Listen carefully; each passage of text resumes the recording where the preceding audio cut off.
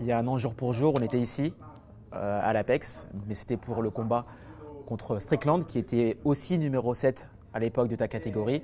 Là, c'est Romain Dolizé avec un camp d'entraînement bien complet. Comment tu le vis? Est-ce que tu le vis comme une seconde chance d'avoir à nouveau un numéro 7 prétendant de ta catégorie? Exactement, exactement ça, comme j'ai dit auparavant.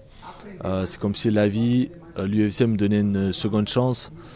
Et euh, cette chance-là, cette fois, il faudra, il faudra la saisir. Et en tout cas, très content d'être, d'être là aujourd'hui, en main event, encore une fois. Ça fait plaisir. Qu'est-ce qui a changé en un an pour toi?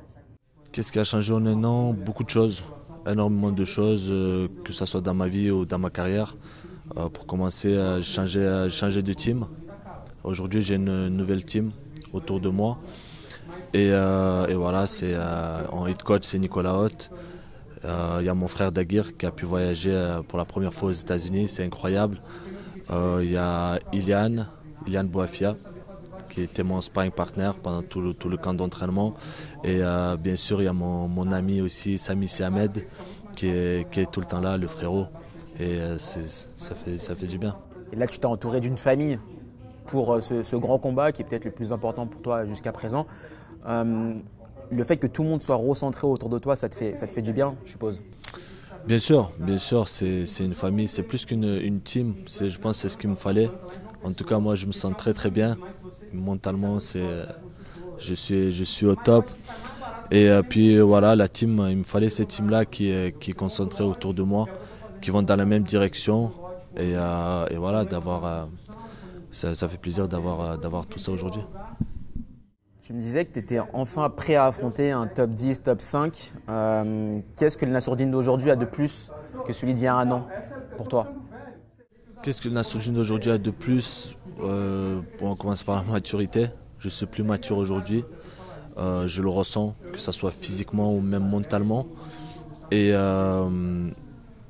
et puis voilà, de l'expérience. J'ai pris énormément d'expérience. Aujourd'hui, j'ai une expérience même en 5 rounds que j'avais fait la première fois en 2023 et, voilà. Pour ce combat-là, tu es venu 10 jours avant à Vegas pour t'imprégner euh, de l'environnement. Euh, c'est quelque chose que tu faisais auparavant ou là, plus que jamais, tu t'es, euh, tu t'es venu en amont? On venait déjà en avance auparavant, on venait, mais pas autant. On venait à 7-8 jours, je crois on avance, mais là on a vraiment mis toutes nos chances de notre côté. On est, je suis venu trois jours avant que prévu, donc ça me fait 10, 10 euh, jours. Et puis voilà, il faut, il faut compter, euh, il faut compter euh, une heure pour chaque, chaque jour. Il y a 9 heures de décalage et, et, puis, puis voilà, pour être au top de, de ma forme. Tout a été calculé.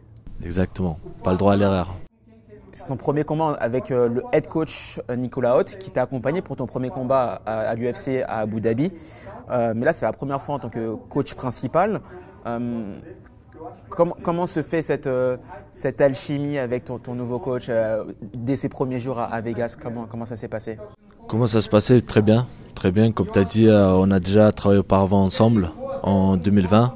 Donc on se connaît très très bien. Il a, il a en 2020 déjà, il avait beaucoup assisté à ma préparation. Euh, c'était aussi mon nutritionniste, donc il me, connaît très très bien, tu vois. Donc et puis puis là maintenant, ça s'est tout se fait naturellement. On est on est très proche, euh, contre Strickland, tu avais souffert de la différence de poids. Après, il y a eu des circonstances particulières avec un short notice, 93 kg, une nouvelle catégorie. Euh, là, pour ce combat, j'ai cru comprendre qu'avec ton ancien préparateur physique qui est devenu ton head coach, que vous aviez ajouté du poids à la carrosserie, c'est ça? Exactement ça, exactement ça. Aujourd'hui, je suis plus lourd. Je deviens, je ne veux pas dire que je suis un vrai 84 encore, mais je suis en train de le devenir. En tout cas, j'ai pris de la masse musculaire depuis le premier combat contre au début 2023. Et, euh, et puis voilà, il y, a beaucoup de, beaucoup de choses qui a, qui a changé, énormément de choses. Quand tu dis un vrai 84, ça veut dire que tu te sens encore un peu léger pour la catégorie? Euh, Là, je me sens pas encore léger euh, parce que je manque pas de, je manque pas de force. Je manque, je, suis très bien. Je sens pas que je manque de force, mais plus tard, je voudrais prendre encore, encore peut-être 2, 2, 3 kilos de muscles. Pourquoi pas Ça serait, ça serait bien. Ton adversaire, lui, c'est un gros 84 parce qu'il vient de la catégorie supérieure. Euh, un mot à dire sur euh, Roman Dolidze, justement. Qu'est-ce que tu penses de lui en tant que combattant et quelles sont ses forces? Un mot à dire sur Roman Dolidze, ben, justement, comme il vient de. C'est un ancien poids lourd, je crois. Je crois qu'il combattait à 93. Et donc, ce qui fait qu'il est très fort physiquement. Euh, il est très fort physiquement et il a un très bon grappling, jiu-jitsu. Et, et puis voilà, en tout cas, moi j'étais content que, qu'on m'a donné cet adversaire-là. Comment tu vois le, combat se dérouler sans trahir les, secrets mais euh, Sans trahir mes secrets, ben, ah, ça, va se, ça va se jouer dans, dans, dans plusieurs. Euh, aux deux niveaux. Ça jouer que ce soit en striking ou au sol. Je suis prêt pour les deux. Euh, c'est un très très bon grappleur, il est très dangereux, mais il faut pas oublier que, que moi aussi j'en ai fait du grappling, j'ai fait du jiu-jitsu, d'ailleurs j'ai une ceinture violette en JB. pas beaucoup de monde le savent, donc, euh, donc ça va, on est prêt. On est prêt. En plus de ça, j'avais des très très bons sparring euh, dans, mon, dans mon camp. Très très bons sparring. Que ça soit en lutte, en grappling, et je suis, je suis plus que prêt.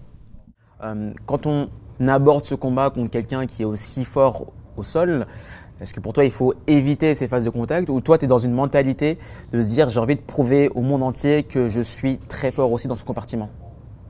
Bien sûr, quelque part j'ai envie de prouver, euh, mais après c'est sûr qu'il faut rester sur ses points forts euh, pour rendre le combat encore plus facile, tu vois. Et, euh, voilà, mais en tout cas, comme j'ai dit, je suis prêt pour, pour, pour, tout, pour la lutte, pour le striking. On va faire du MMA, je suis, quelqu'un de complet aujourd'hui. On va faire du MMA et ça, ça peut aller au sol, il n'y a pas de souci. Pendant cette préparation, tu as eu un sparring partner de qualité au sol, Thomas Nuversen.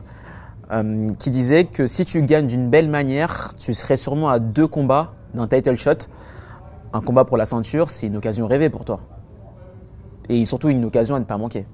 Bien sûr, bien sûr, il a, totalement raison, parce qu'une fois que tu es dans le top 10, tu es légitime à la ceinture à tout moment. On a vu ça avec Strickland. De toute façon, et, puis voilà, une fois dans le top 10, euh, ça peut aller très vite. Moi, je suis, en tout cas, je suis prêt. Je sens que c'est maintenant le, le moment est venu pour moi. Tu te mets la pression ou pas? La pression, non. Franchement, ça va. Ça va. Je... Après, avec la pression, j'ai quand même, je, la maîtrise bien. Franchement, je la maîtrise bien. Même là, je regarde en arrière. Aujourd'hui, je suis, franchement, le stress n'est pas encore, en tout cas, pas encore là. Et, pour finir, euh, on l'a dit au début, tu as une nouvelle équipe autour de toi. Euh, nouveau projet, on parlait peut-être euh, d'un déménagement vers les États-Unis. Comment tu la vois la suite pour toi en tant que, en tant que combattant? Là, tout de suite, je ne peux pas dire exactement.